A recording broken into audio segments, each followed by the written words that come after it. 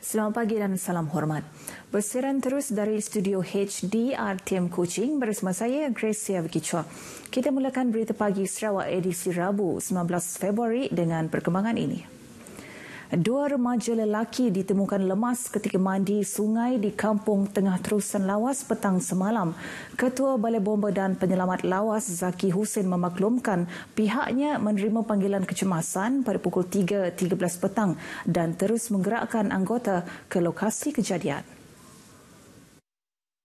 Mangsa pertama, Ahmad Syukri Rosli, 16 tahun ditemukan pasukan penyelamat kira-kira pukul 5 petang dan cuba diberikan bantuan pernafasan kecemasan CPR namun mangsa disahkan meninggal dunia oleh pasukan perubatan klinik Tusan. Manakala mangsa kedua dikenali Abang Bukhari Malikan juga 16 tahun ditemukan pukul 6.22 petang beberapa meter dari mangsa pertama dijumpai. Dalam kejadian pukul 3 petang itu, kedua-dua mangsa bersama tiga yang lain dipercayai mandi di sungai berdekatan. Difahamkan ketika kejadian salah seorangnya telah lemas dan cuba meminta tolong rakan yang lain. Seorang lagi rakannya cuba untuk menyelamatkan mangsa turut lemas bersama manakala tiga rakan lain cuba meminta bantuan penduduk kampung. Mayat telah diserahkan kepada polis lawas untuk tindakan lanjut. Datuk Aidi Ismail dilantik sebagai Pesuruhjaya Polis Sarawak yang baru berkuat kuasa semalam. Beliau menggantikan Datuk Ramli Din yang akan bertugas di Bukit Aman sebagai pengarah siasatan jenayah narkotik Bukit Aman. Majlis serah terima tugas antara Datuk Ramli Din dan Datuk Aidi Ismail disaksikan Timbalan Ketua Polis Negara Datuk Mazlan Mansor di Ibu Pejabat Polis Kontijen Sarawak di Kuching. Terdahulu dalam ucapannya, Datuk Ramli percaya dengan pengalaman yang ada, penggantinya mampu menggalas dan memikul tugas dalam menjadikan negeri ini aman serta sejahtera. Beliau juga berterima kasih kepada semua anggota dan pegawai PDRM atas kerjasama yang diberikan sepanjang beliau berkhidmat sebagai Pesuruhjaya Polis Sarawak. Sementara itu, Dato' ID dalam ucapannya mengingatkan semua anggota agar memberi perkhidmatan yang profesional. Beliau juga berharap setiap jabatan dan ketua polis daerah memberi kerjasama padu dalam mencapai visi dan misi PDRM. Turut berlangsung majlis serah terima tugas pengurusi Perkep Sarawak antara Datin Fauziah Muhammad Khalis dan Yang Mulia Datin Raja Asaudat Raja Muda dengan disaksikan naib pengurusi Perkep Malaysia Datin Farihah Muhammad Zamri. Sementara itu, Timbalan Ketua Polis Negara Datuk Mazlan Mansor menyeru agar semua anggota polis di Sarawak terus proaktif dalam melaksanakan tugas meskipun kewibawaan setiap anggota bakal diuji dalam menjalankan tanggungjawab mereka. Bercakap kepada media, Datuk Mazlan menjelaskan, walaupun berlaku peralihan tonggak utama kepimpinan, setiap anggota perlu meneruskan kecemerlangan dan semangat perpaduan. Ia bagi memastikan polis memberi khidmat terbaik untuk masyarakat. Mengulas mengenai tempoh singkat Datuk Ramli sebagai Pesuruhjaya Polis Sarawak, Datuk Mazlan menjelaskan ia berikutan faktor persaraan pegawai-pegawai kanan yang bersara genap 60 tahun. Oleh itu, pusingan perjawatan perlu dilaksanakan bagi mengisi kekosongan jawatan-jawatan tertinggi. Beliau berharap Datuk Aidi Ismail terus menyambung kecemerlangan anggota PDRM Sarawak dalam memerangi jenayah. Terdahulu dalam majlis perbarisan perpisahan di Padang Kawat Ibu Pejabat Kontingen Sarawak, Datuk Ramli berharap semua pegawai dan anggota polis Kontingen Sarawak terus mempertingkatkan usaha membanteras kegiatan jenayah walaupun kes jenayah di negeri ini masih terkawal. Dalam masa sama, anggota keselamatan perlu mempertingkatkan disiplin serta jati diri dan menghindari perkara negatif termasuk dadah, rasuah juga salah laku guna kuasa. Pada majlis sama turut disampaikan sijil penghargaan atas kejayaan kepada beberapa jabatan termasuk pasukan gerakan AMPGA Batu Kawah Kuching, Jabatan Siasatan Jenayah Narkotik dan Jabatan Siasatan Jenayah Komersial Ibu Pejabat Daerah Pedawan yang berjaya menumpaskan kes-kes jenayah.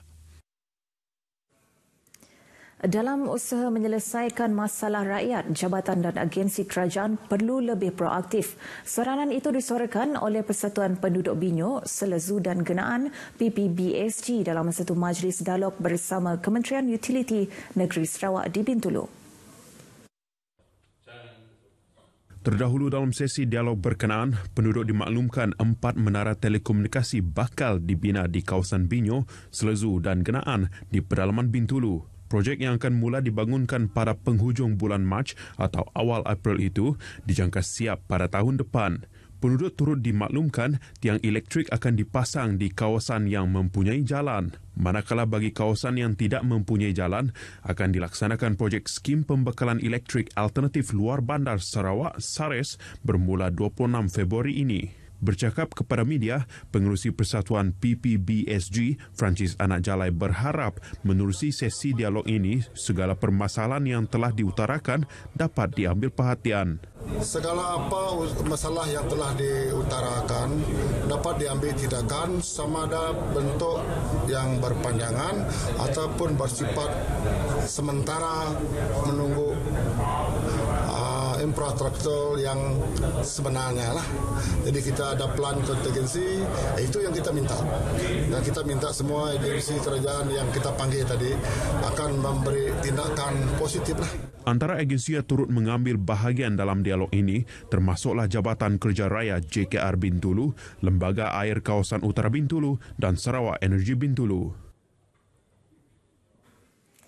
Kejohanan tenis Piala Ketua Menteri Persekutuan Tenis Antarabangsa ITF Jelajah Tenis Dunia J1 Sarawak yang memasuki edisi ke-35 bakal menyaksikan pertembungan sengit pemain-pemain tenis muda berusia 13 hingga 18 tahun. Kejohanan berprestij itu bakal diadakan 10 hingga 15 Mac depan di gelanggang Persatuan Lawn Tenis Sarawak SLTA Jalan Crookshank, Kuching. Bercakap dalam sidang media di Kuching, Kementerian Belia dan Sukan Negeri memberitahu Sarawak amat bertuah kerana dipilih menjadi lokasi penganjuran kejohanan. Ini kerana hanya dua buah negara di Asia Tenggara yang layak untuk menganjurkan kejohanan tersebut iaitu Thailand dan Malaysia. Sebanyak 38 buah negara yang mengesahkan penyertaan antaranya Australia, Czech Republic, Jepun, Rusia dan Thailand melibatkan 75 peserta lelaki dan 75 peserta perempuan. Sementara itu, Presiden SLTA Datuk Patrick Liu memberitahu pihaknya turut menerima geran sebanyak RM200,000 daripada ITF bagi menganjurkan kejohanan tersebut. Ini sekaligus membuktikan keyakinan ITF terhadap penganjuran kejohanan sebelum ini dan beliau berharap akan terus memastikan fasiliti dan kualiti penganjuran kejohanan tersebut akan terus diutamakan dan dipertingkatkan. Dalam pada itu, Bandaraya Kuching juga akan menjadi salah satu lokasi kelayakan akhir Asia Oceania Piala Davis Remaja dan Piala Remaja Fed 2020 sebelum kepertandingan akhir di Lake Nona Amerika Syarikat. Kejohanan antarabangsa itu akan diadakan di SLTA Jalan Cruikshank Kuching. Piala Fed Remaja kategori perempuan akan bermula pada 30 Mac hingga 4 April, manakala bagi Piala Davis Remaja kategori lelaki pula akan berlangsung 5 hingga 10 April. Antara negara yang akan berentap pada saingan pra kelayakan itu adalah Australia, Kazakhstan, Indonesia, Sri Lanka, New Zealand, India dan Korea. Aspek keselamatan atlet serta petugas diberi keutamaan semasa berlangsungnya kejohanan memanah Majlis Sukan Sekolah Sarawak MSSS. Ia akan berlangsung di Sekolah Menengah Kebangsaan SMK Kemenah, Bintulu sehingga Jumaat ini. Timbalan Pengarah Sektor Perancangan dan Pengurusan PPD Jabatan Pendidikan Negeri Sarawak, Abang Hud Abang Engkeh berkata dengan memberi keutamaan terhadap aspek tersebut, risiko kecederaan dapat dielakkan.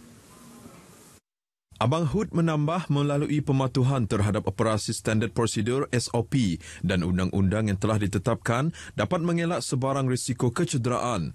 Beliau berkata demikian ketika ditemui RTM semasa membuat tinjauan ke tapak acara di SMK Kemenah Bintulu pagi semalam. Jelas beliau, sukan memanah bukanlah suatu sukan yang berbahaya khususnya bagi mereka yang arif mengendalikan sukan tersebut.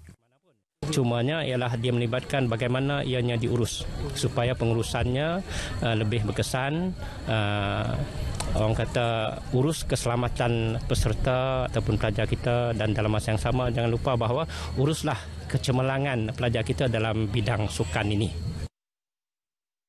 Sementara itu, pihak penganjur Pejabat Pendidikan Daerah PPD Tatau Sebauh yang diketuai Ketua Pegawai PPD Tatau Sebauh, Samri Suhaili, telah mengambil langkah keselamatan awal dengan mengadakan kursus khas kepada petugas sejak Rabu minggu lalu. Ini termasuk taklimat kepada 22 orang pengurus pasukan.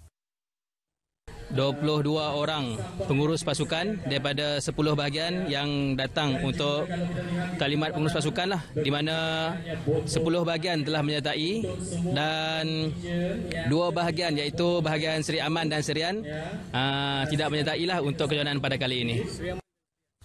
Semalam telah berlangsung sesi penyesuaian gelanggang oleh atlet-atlet yang bakal memulakan kejohanan hari ini melibatkan tiga kategori iaitu lelaki dan perempuan 12 tahun, 15 tahun dan 18 tahun.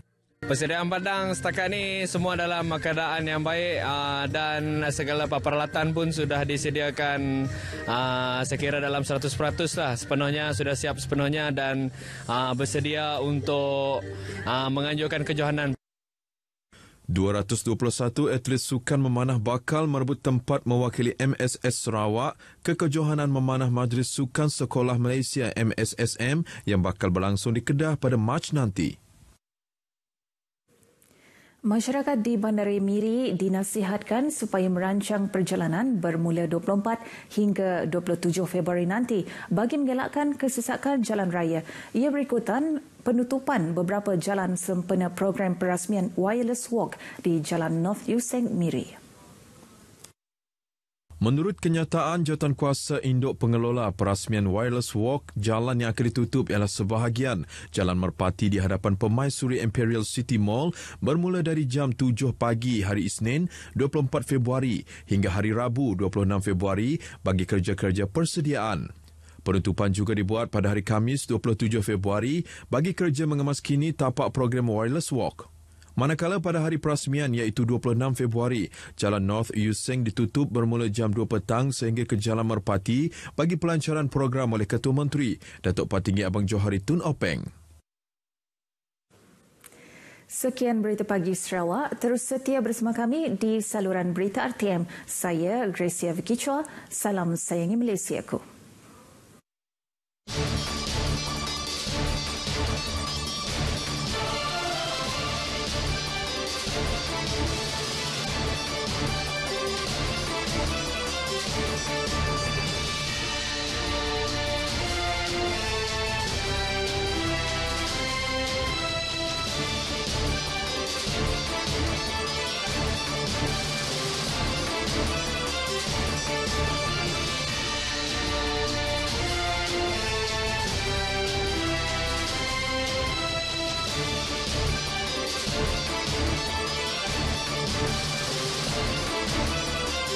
Bye.